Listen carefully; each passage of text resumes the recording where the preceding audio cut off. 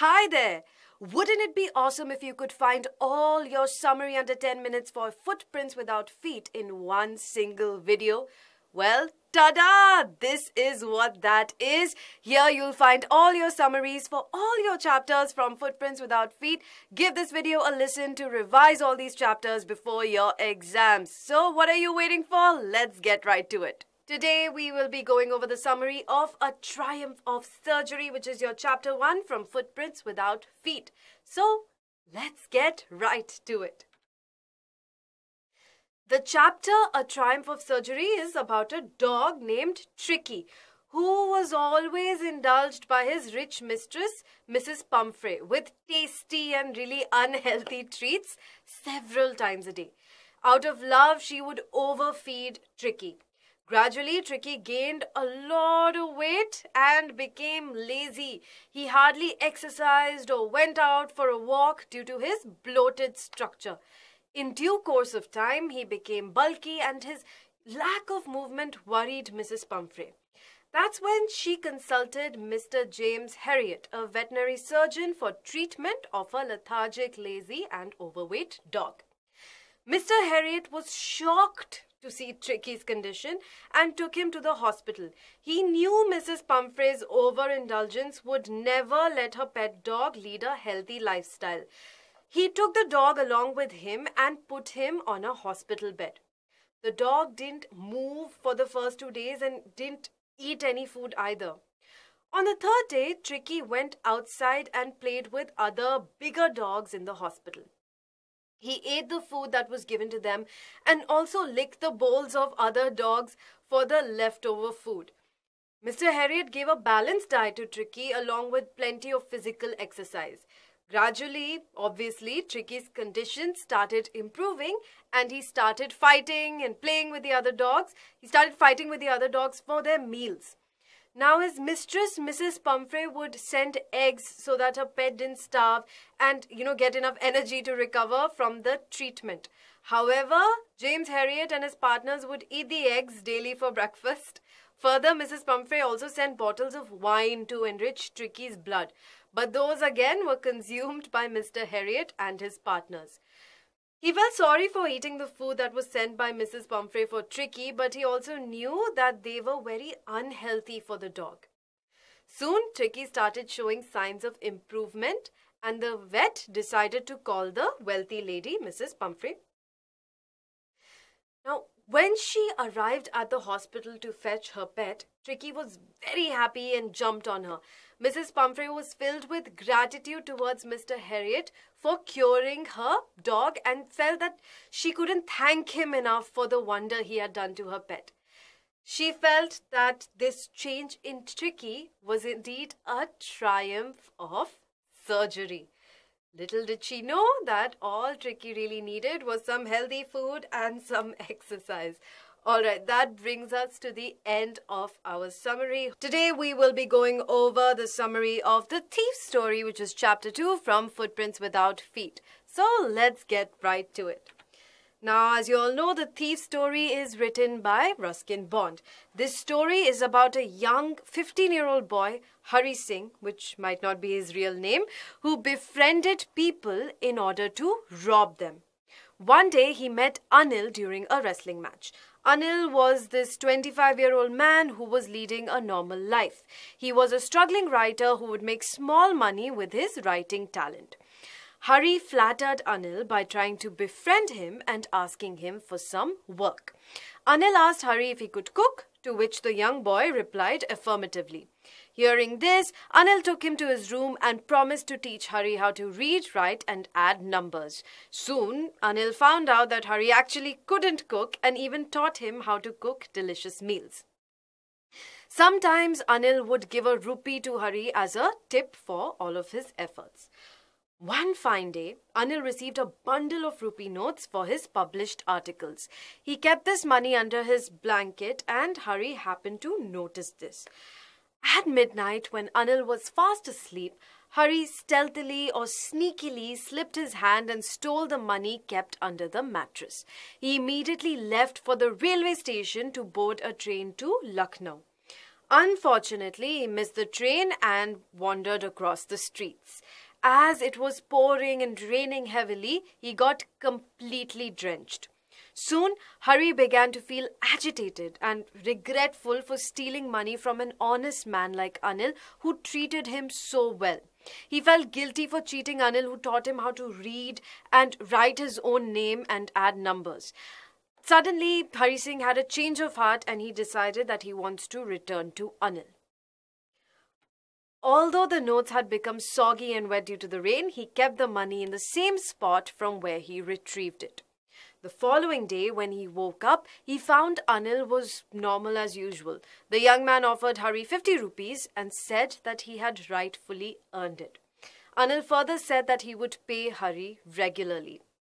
However, when Hari touched the money, he realized that the money was still damp. Hari understood that Anil knew what he did the previous night, but the young man still didn't treat him with disgust or hand him over to the police. On the contrary, Anil promised to teach Hari how to write full sentences. After this incident, Hari Singh was filled with gratitude and respect for Anil, and he decided to mend his ways and become a noble human being just like Anil. That brings us to the end of the summary, a very sweet story about the relationship between two people and how you need to forgive people when they realize their own mistakes. Today we are going over chapter 3, The Midnight Visitor, a very interesting story, so let's get to it. The Midnight Visitor is a detective story written by Robert Arthur. The story starts off with Fowler, a young writer who is disappointed at meeting a spy who did not fit the description he had in mind. Secret agent Ausable and Fowler had gone out to spend an evening together. As the two men talked, Ausable told him that Fowler must have imagined him to be a secret agent who dealt with espionage and danger and envisioned mysterious figures in the night, the crack of pistols, etc. But Ausable was a chubby looking spy who spoke moderate French and German with an American accent. While Fowler was disillusioned, Ausable told him that he would be receiving an important document for which many have risked their lives. They headed towards Ausable's room. When they entered the room, Fowler was startled to see a man holding a small automatic pistol halfway across the room. Ausable immediately recognized the other man to be Max, a secret agent.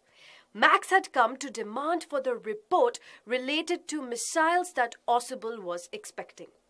Meanwhile, Fowler was in a state of shock, and this was by far the most exciting experience for him to meet a secret agent in such a manner. In the meantime, Ausable began to lie about the balcony. He said that this was the second time someone had entered through it, Max denied this and said that he had entered through the door. Ausable continued to talk about the balcony beneath the window of the room to divert Max's attention. Just then, somebody knocked at the door. The thumping became louder and more frequent. Ausable said that the police might have come to visit him as they did on a regular basis.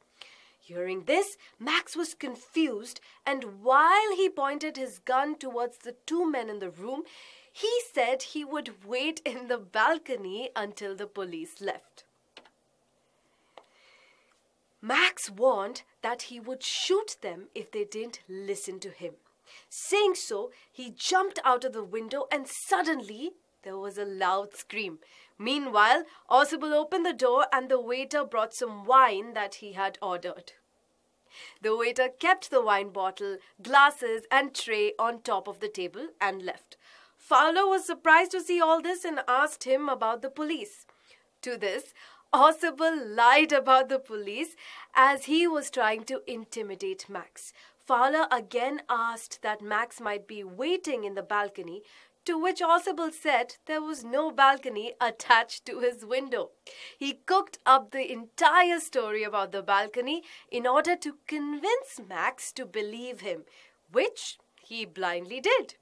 This story exhibits how quick witted Ausable took advantage of the dangerous situation and was successful in making Max nervous. Distraught, Max jumped out of the window and fell to his death unknowingly.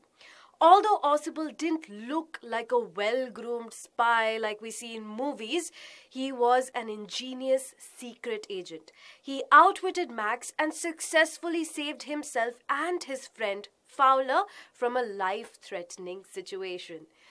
That brings us to the end of the summary. Now you know that it's not just about the looks, it's also about the brain. Today we will be going over a question of trust. So let's get to it. A Question of Trust is a story about a thief, Horace Danby, who was known to be a good citizen. He was an unmarried 50 year old man who used to work as a locksmith. Although he was a respectable man, he was not completely honest. He had a liking for rare and fancy books and would purchase them by any means. To pursue this expensive hobby, he would rob a safe once every year and purchase the expensive books covertly through an agent.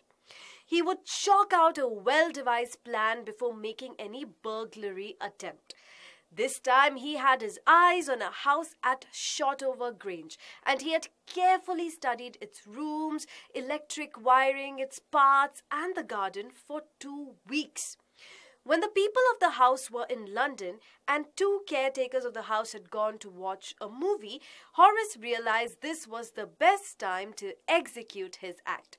He came out from behind a wall of the garden and entered the house with all of his tools packed in his bag. He had picked a key from the hook on the kitchen door. He quickly wore his gloves to avoid leaving any fingerprints behind. He took the key from the hook and opened the door. He saw the dog and called it by its name, Sherry. Sherry wagged its tail and did not trouble him. Danby knew the safe was hidden behind a poor painting in the drawing room. There was a beautiful vase full of flowers kept on the table. He was allergic to the fragrance of flowers. He tickled his nose and kept sneezing repeatedly, getting hay fever. He took out his tools and cut the burglar alarm. As he sneezed again loudly due to the fragrance of the flowers, he heard the voice of a young lady standing on the doorway behind him. The lady was dressed in red and seemed to be the house owner's wife. She managed to convince Horace to believe her. She said that she had come there without notice to collect her jewels as she wanted to wear those at a party that night. Hmm. Danby was frightened that the lady might hand him over to the police, so he requested her to let him go. She told him that she would allow him to leave only if he opened the safe for her, as she left all jewels in it. She mentioned that she had forgotten the safe's number combination and didn't know how to unlock it. Danby offered to help her and open the safe without his gloves on. the young lady immediately took out all the jewels. Horace Danby left the house and went home happily, assuming that he had escaped imprisonment. However, a policeman arrested him for the third day for the burglary of the jewels at Shotover Grange. Horace Danby's fingerprints were found all over the robbed place, Later, he confessed to committing the crime and that he had opened the safe for the young lady in the house, but didn't steal the jewels inside. In reality, it so happened that the lady was also a thief and she convinced Horace to break open the safe for her. When he told this story to the police, no one believed him, since the owner's wife was a 60 year old woman, not the one Danby mentioned in his statement. In no time, the police arrested him and he was put behind bars for the robbery case. He became the assistant librarian in the prison. He often thought of the charming, cunning young lady who was also a thief like him and tricked him to believe her. Henceforth, whenever anyone mentioned honor among thieves, he would get very angry and upset. That brings us to the end of our summary Today, we will be going over the summary of chapter 5 from Footprints Without Feet, which is Footprints Without Feet. So, without further ado, Let's get to it. Ah, so Footprints Without Feet is an interesting story written by Herbert George Wells. Now, this story is about a brilliant scientist named Griffin who had developed a drug that could make a man invisible. He was successful in his experiment and developed a formula that had the power of invisibility. So, by consuming the drug, a man could become transparent and could not be seen with the naked eye. Griffin carried out the experiment on himself, so he gulped the drug and his body became transparent like a sheet of glass. Inadvertently, or as a result, he stepped in mud, and the fresh, muddy imprints of his feet were all over the place. It was first seen by two young boys who followed his footprints until they became fainter and disappeared altogether. Although Griffin was an outstanding scientist, he was a lawless man. His landlord disliked him and had asked him to leave the house. In vengeance, Griffin set the house on fire and soon wandered around the streets without food, money, and clothes. Owing to his invisibility, no one could see him, and as he was walking down the streets, he started feeling cold and entered a big London shopping centre to warm himself. After the stores were shut down, he picked up some comfortable clothes to warm himself and fed himself with cold meat and some espresso from a nearby restaurant. Later, he slept on a pile of quilts in the store. The following morning, some associates started approaching him and he removed all of his clothes immediately and became invisible again. Now, as Griffin wandered without clothes in the chilly weather, he could feel the biting cold and decided to take some clothes from a theatre company. Soon, he found an appropriate shop and wore bandages around his forehead, a false nose, dark glasses, big bushy side whiskers, and a huge hat. Then he went to a shopkeeper's store and stole all his money. He realized that staying in a crowded city like London could be difficult for him, so he thought of moving to the Iping village. He had booked two rooms at the local inn in the village and reached there by boarding a train from London. It was quite an unusual experience for the villagers to expect an outsider with this strange appearance who had come to stay at the hotel during winter. Mrs. Hall, the wife of the landlord of the inn, tried to be friendly with him, but Griffin did not want to talk to her.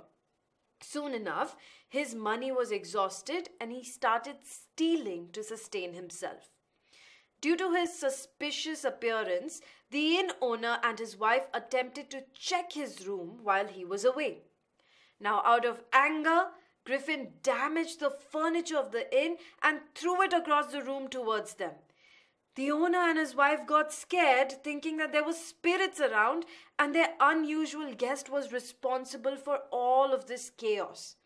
Meanwhile, Mrs. Hall requested the town constable, Mr. Jaffers, to inquire about the identity of this peculiar individual and arrest him for damaging her furniture and her inn. Now, this annoyed Griffin further, and so he decided to reveal his identity as he started unwrapping his bandages, whiskers, spectacles, and nose. Now, everyone was shocked to see this, as there was no normal human being hidden behind the bandages. The constable could not catch hold of Griffin as he took off all of his garments, became invisible, and disappeared in thin air. That brings us to the end of this summary. In today's session, we will be covering Chapter 6 from Footprints Without Feet, which is the making of a scientist. Let's get right to it. Now, The Making of a Scientist was written by Robert W. Peterson. This prose is about a renowned scientist, Richard Ebright, who was a bright yet curious child from the early years of his life. He was very fond of collecting butterflies, and when he was in second grade, he had already collected 25 species of butterflies in his hometown. His mother always encouraged him in his efforts and gifted him a book named The Travels of Monarch X. The book was a turning point in his life as it opened him to the world of science.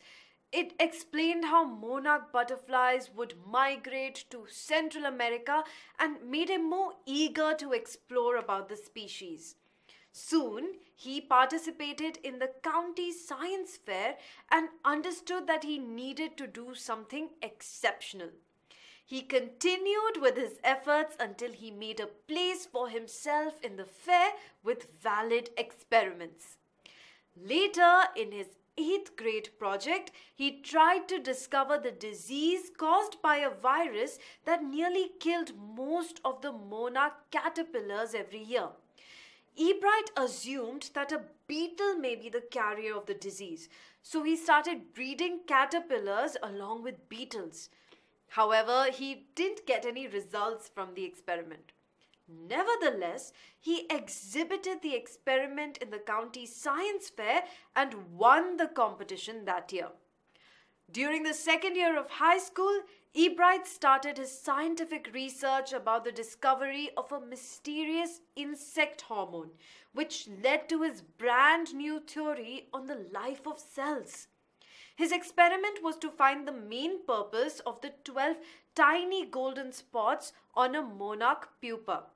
His project won first prize in a county science fair and he got an opportunity to work at an entomology lab in Walter Reed Army Institute of Research. As a junior in high school, he went on with his upgraded experiments on the monarch pupa and finally was successful in identifying the chemical structure of hormones. One fine day, while he was checking the x ray photos of the chemical structure of a hormone, he understood how the cell could read the blueprint of its DNA. Ebright and his roommate in college, James R. Wong, worked day and night and drew pictures and constructed plastic models of molecules to illustrate how DNA works. This was a major leap in Ebright's career as he secured a graduation degree from Harvard with the highest honors and stood second in a class of 1,510 students. His work was also published in a science magazine. Soon, he became a graduate student researcher at Harvard Medical School and started working on other experiments. Richard Ebright was a straight A student in high school. Besides, he took interest in debate, public speaking, and was also a good canoeist and an all rounder outdoor person. He always had a competitive nature and zeal to give his best to everything that he put his hands to. Out and out, he had all the key ingredients of a brilliant scientist, starting with a first rate mind, blended with curiosity and a mix of willpower to win for the right reasons. That brings us to the end of our summary. Today, as you can see, we will be covering your chapter 8 from Footprints Without Feet, which is the necklace. So let's get started. The Necklace, written by Guy de Maupassant, is a short story about Matilda Loisel and her husband, who lived in a small yet cozy flat. Matilda's husband worked as a clerk in the office of the Board of Education and he loved his wife. They couldn't afford a luxurious lifestyle and led a very simple life. Matilda was unhappy about her condition. She felt disappointed and sad about their financial condition. She wanted to be rich and wear beautiful dresses with matching expensive jewelry, but she didn't have any of this. Now, one fine day, Matilda's husband brought her an invitation to a grand ball party at the minister's residence. He expected his wife to be excited upon seeing the invitation letter. But when Matilda saw the invite, she expressed her resentment and anger over it, and she threw the letter aside and started sobbing and crying over her condition. When asked, she complained of not having a party dress to wear on such a grand event. She wanted to look beautiful at the party so that everyone should admire her. Seeing her condition, her loving husband gave her all his savings of 400 francs to buy a beautiful dress. He had saved that amount for buying a rifle for himself, but gave the money to his wife to buy her dress for the sake of her happiness. Soon, the week of the grand party approached. Matilda was anxious again. This time, she felt that she didn't have any matching precious jewelry to pair with her lovely dress. Her husband suggested she requested her friend Jean Forestier for a neck piece. Now, Matilda went to Jean's house immediately and borrowed a sparkling diamond necklace. Matilda went to the ball party with her husband and was really happy about her appearance. They enjoyed the party and were ready to head back home in the wee hours or very early hours of the morning. When they reached home, Matilda realized that the necklace was missing around her neck. She and her husband were panic stricken that it might have fallen in the cab which they had boarded while returning from the party. Her husband immediately went to search the streets just in case it might have fallen there, but he couldn't find it anywhere. He approached the police and put up an advertisement in the newspapers offering a reward, but all of this went in vain. With no option left, Matilda's husband asked her to write a letter to Forestier and mention that the clasp had broken and she would return it once repaired. In the meantime, they successfully found a replica of the necklace and decided to replace it with the old one. However, the new necklace was very expensive and cost 36,000 francs. Matilda's father in law had left 18,000 francs for his son. They decided to borrow the rest of the money to buy the expensive necklace.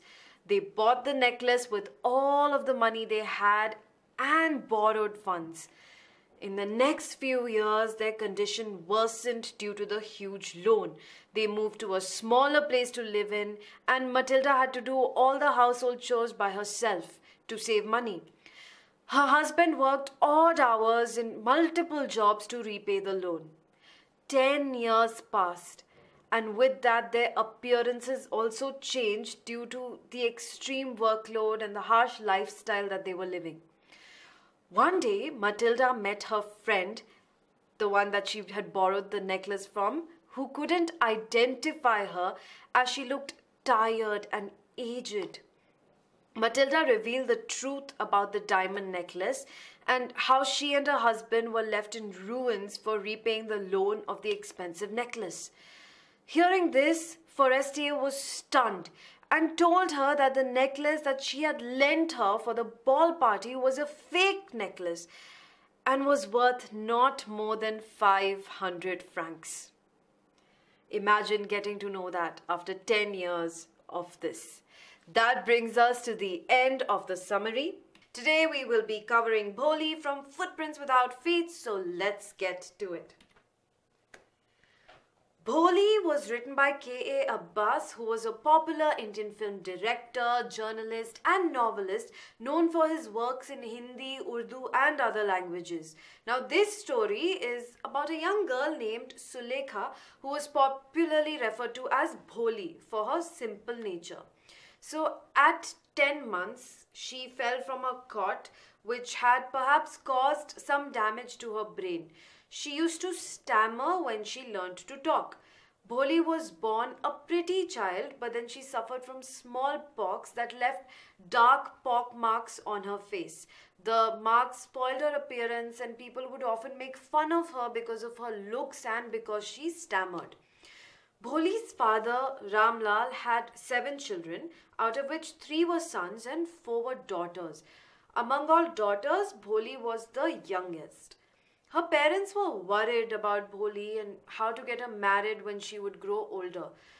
One fine day, Tehsildar Saab had come to perform an inaugural ceremony of primary school of a, for a primary school for girls in the village and he told Ramlal to send all of his daughters to school.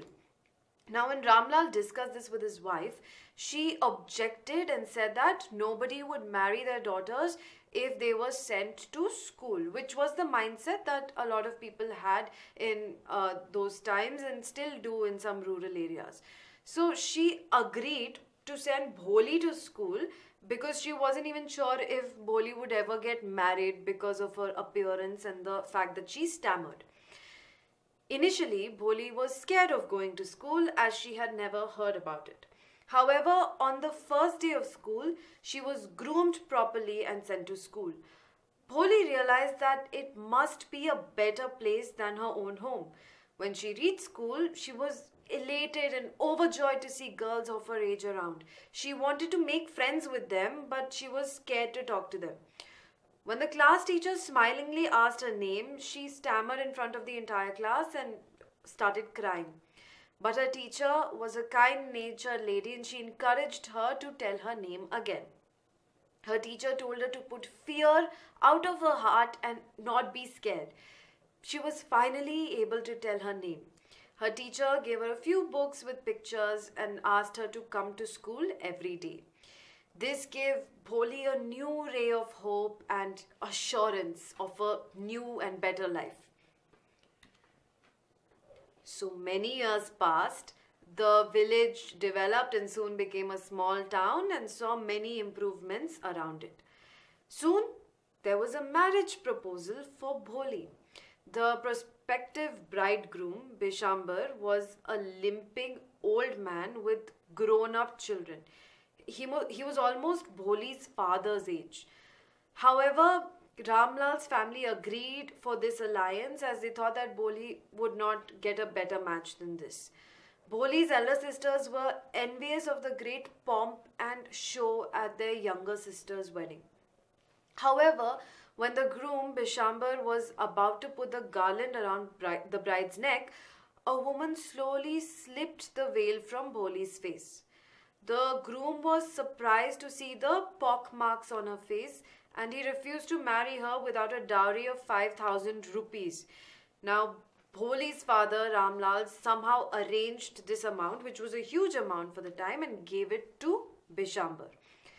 However, as the groom tried to garland the bride, Bholi held his hand and refused to marry such a mean and greedy coward. All the people present in the wedding were stunned to see Bholi speak so confidently and without stammering or stuttering. The groom felt insulted and returned to his village.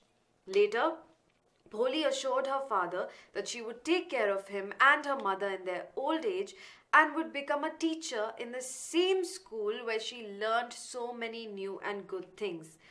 Looking at this, Bholi's teacher, who was watching all of this from a distance, felt a deep sense of relief and satisfaction at Bholi's courage and confidence that she exhibited in front of so many people.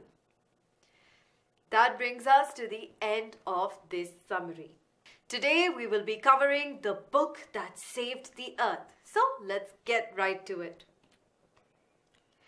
Now, the book that saved the earth is actually a play written by Claire Boiko.